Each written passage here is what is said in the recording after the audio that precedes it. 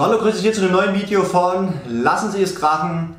Und heute mache ich mit euch gemeinsam einen Test. Ich habe es vorher noch nicht ausprobiert, das heißt, wir gehen sozusagen heute mal gemeinsam ja, auf Suche einer Lösung äh, für ein Problem, das ich habe. Und ich habe mir da was überlegt und ich habe einfach gesagt, jetzt machen wir jetzt mal ein Video gleich, fangen gleich an. Und wir testen gemeinsam auf dem Schießstand, ob das so funktioniert, wie ich mir das ähm, hoffe oder hoffentlich vorstelle.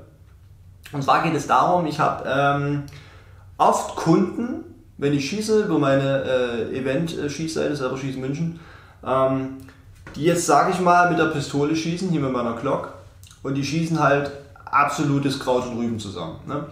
Und da das jetzt, sage ich mal, ein Eventschießen ist und die erstmal Spaß am Schießen haben sollen und ich jetzt nicht die Zeit habe, manche sind Naturtalente, die gehen dahin und denen erklärt man das einmal, die setzen das um, das funktioniert.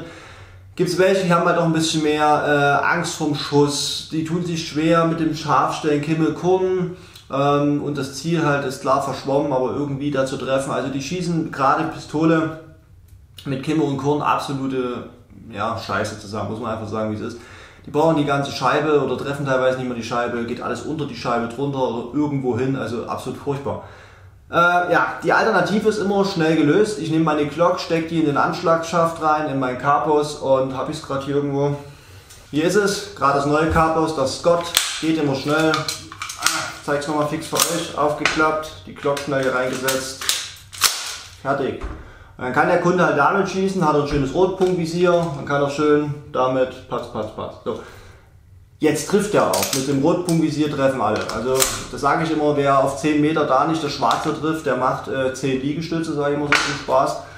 Und naja, aber es fehlt halt jetzt irgendwie dieses Pistolenfeeling. Deswegen habe ich mir gesagt, okay, es muss doch irgendwie eine andere Lösung geben, damit die ähm, trotzdem, sage ich mal, irgendwie Pistole schießen können, aber eben irgendwie auch das Ziel treffen. Die Lösung hier ist natürlich meistens auch ein Rotpunktvisier auf der Glock. Es gibt ja, ich habe schon mal ein Video gemacht, hier eine Montage, kann man hier auf die Glock oben den Red Dot oben drauf bauen. So, aber das dauert, also da muss ich erst die, das Kimme, äh, die Kimme runter machen, so einen Block da drauf setzen, hin, rumschrauben, machen, tun, dauert ewig. Die Zeit habe ich natürlich jetzt nicht, äh, wenn der Kunde nicht trifft, da jetzt erst lang rumzubasteln. Also dachte ich mir, es muss doch irgendwie eine andere schöne Lösung geben. Und ich glaube, vielleicht was gefunden zu haben. Und zwar, brauchen wir dafür natürlich ein Rotpunktvisier. Das haben wir jetzt hier. Den Red Dot habe ich in dem letzten Video schon mal vorgestellt. Wollte ich auf die Schmeißer machen, so mit einem 45 äh, Grad Rail.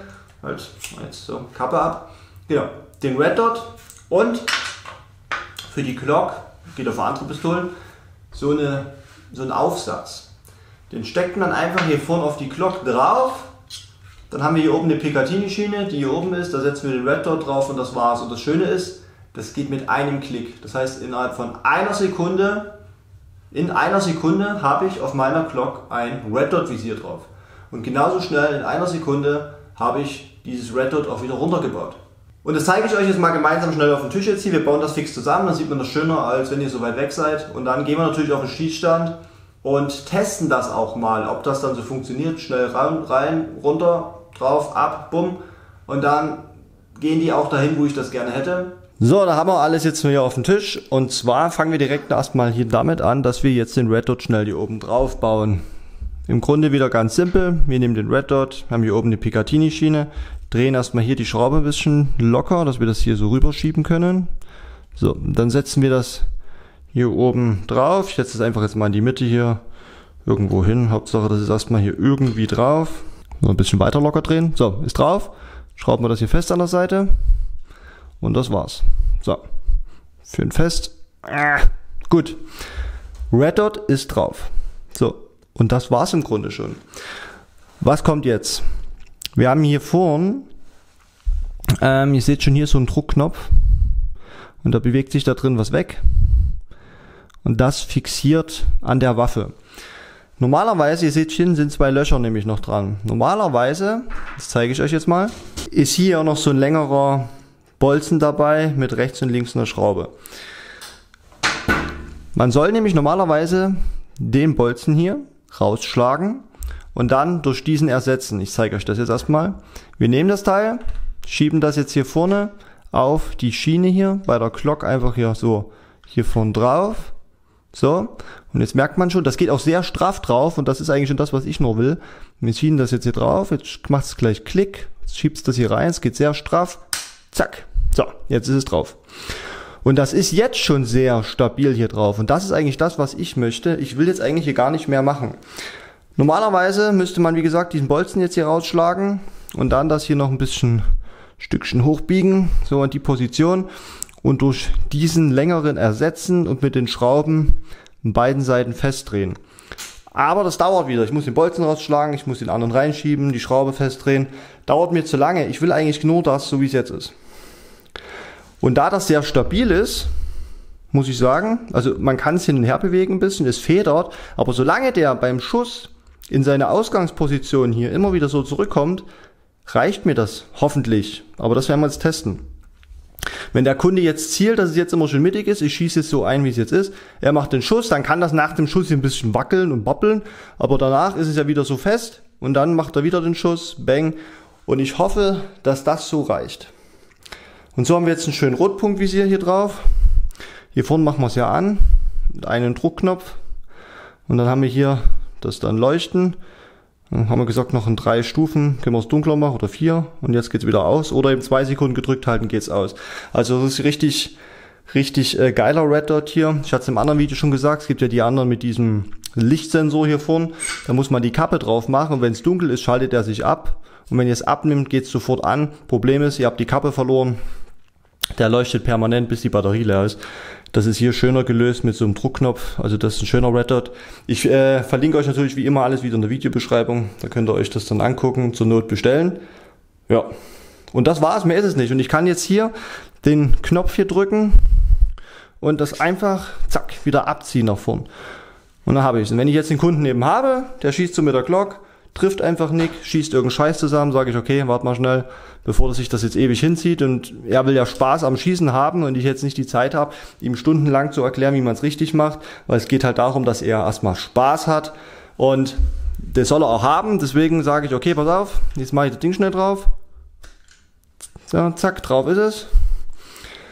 Und dann sage ich, so, jetzt ziel mal. Das Schöne ist, man kann trotzdem weiterhin Kimme und Korn verwenden. Ihr seht hier, und wenn das eben nicht klappt, nimmt er eben um dann den Red Dot. Ja, und irgendwie sieht das schon sehr Science Fiction aus. Ähm, für die Zuschauer aus Österreich, ihr könnt weiterhin, ihr seht hier ist immer noch eine Schiene, weiterhin auch hier unten drunter noch euren Laser, eure Taschenlampe äh, dran bauen. Und dann sieht das Ding schon sehr spacey aus. Aber ja, finde ich eine ganz coole Sache. Dann würde ich sagen, lasst uns doch mal auf den Schießstand fahren und mal testen, ob das so funktioniert. Wir stellen den Red Dot jetzt mal ein und bauen ihn ab, bauen ihn wieder drauf, wechseln ein paar Mal hin und her und gucken, ob der auch wirklich da bleibt, wohin soll. Wir schießen den jetzt auf 10 Meter ein, weil ich mit meinen Kunden immer auf 10 Meter schieße. Sonst treffen die gar nichts. Gibt, wie gesagt, Naturtalente, aber in der Regel auf 10 Meter. Deswegen stelle ich auch diesen Red Dot jetzt hier mal auf 10 Meter ein. Ich habe wieder hier eine Laserpatrone, kann ich euch empfehlen. Jetzt hier 9 mm. Vorher Laserpatrone rein, einstellen schon mal grob auf den Laser. Dann sind wir schon mindestens mal grob im Ziel und dann machen wir noch das Feintuning. Gut, dann würde ich sagen, fahren wir auf den Schießstand. So, ich bin am Schießstand jetzt angekommen und habe es natürlich auch gleich äh, jetzt schon mal getestet. Habe das wieder mit einer Laserpatrone gemacht. Haben wir ja schon ein paar Mal gehabt hier das Thema Laserpatronen. Und habe die jetzt hier äh, reingesetzt, zugemacht und direkt mal auf 10 Meter den Red Dot eingestellt. Im Gegensatz zu 100 Meter hat man es ja schon, das kann einen riesen Unterschied machen. Auf 10 Meter Laserpatrone top. Habe es einmal eingestellt, durchgeschaut, mit dem Schraubenzieher gedreht, weiter rechts, hier ein bisschen weiter links. Perfekt mittig gewesen.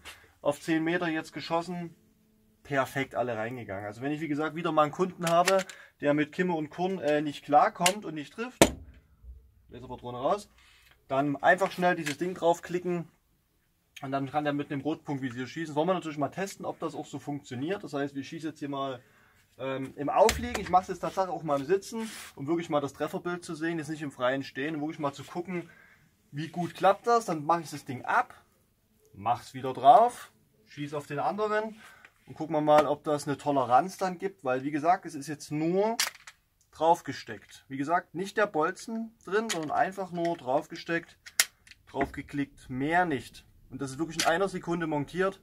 und wir haben sofort einen Red Dot innerhalb von einer Sekunde auf der Glock. Und das sollen wir jetzt mal testen. So, also wir simulieren das Beispiel jetzt mal. Normale Glock, Kimmelkorn. Kunde jetzt bei mir in dem Fall schießt und trifft einfach die Scheibe ums Verrecken nicht. Und jetzt kann ich einfach sagen, okay, pass auf. Draufgesteckt. Es jetzt mal. Werden wir jetzt mal testen. Schluss zu. Feuer frei.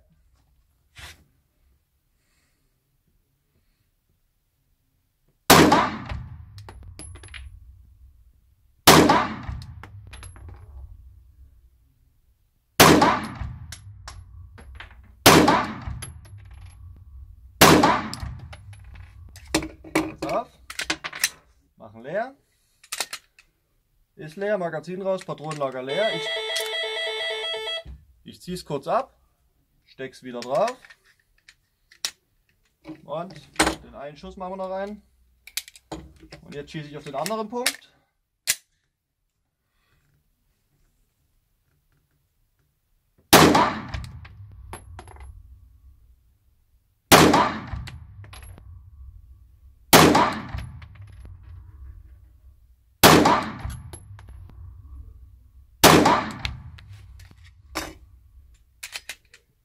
Ist leer. Scheibe her. Ich würde sagen, das passt. Wobei der erste sogar noch schlechter war. Ich habe ein bisschen was verwackelt gehabt und so, keine Ahnung. Jetzt hier drüben habe ich mir mal ein bisschen konzentrierter geschossen. Aber ein wunderbarer Streukreis, obwohl ich es abgemacht, drauf gemacht habe. Also, auch wenn das jetzt hier nicht drin ist, der Bolzen hier, einfach schnell draufgesteckt für den Kunden, damit der hier irgendwie die Scheibe trifft reicht das allemal aus. Und ich habe hier nichts eigentlich, ich habe das nur einmal mit der Laserpatrone eingestellt und es hat sofort gepasst. Also kann ich euch definitiv empfehlen. Wie immer, Links findet ihr in der Videobeschreibung. In dem Sinne, bleibt gesund und zuverlässig. Bis zum nächsten Video, macht's gut. Ciao, ciao. Danke fürs Anschauen. Wenn dir das Video gefallen hat, gib uns doch bitte einen Daumen nach oben. Und wenn du weitere Videos von uns sehen möchtest, kannst du direkt hier unter diesem Video unseren Kanal abonnieren und auch bei deinem Smartphone unter dem Video einfach auf Abonnieren klicken und danach direkt auf Benachrichtigung aktivieren. Dann wirst du immer einer der Ersten sein, der unsere neuen Videos sieht.